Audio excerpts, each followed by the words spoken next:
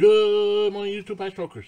March 10th, Tuesday. 48 degrees in New York, heading up to 61. It was 73 degrees yesterday in New York. Unbelievable. Beautiful day. And here's your daily five. Liars never prosper. You can drown in your dreams.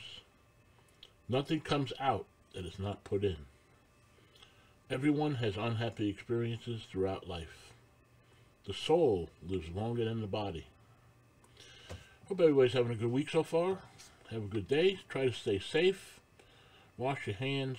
Keep your distance. And uh, hopefully this whole mess blows over.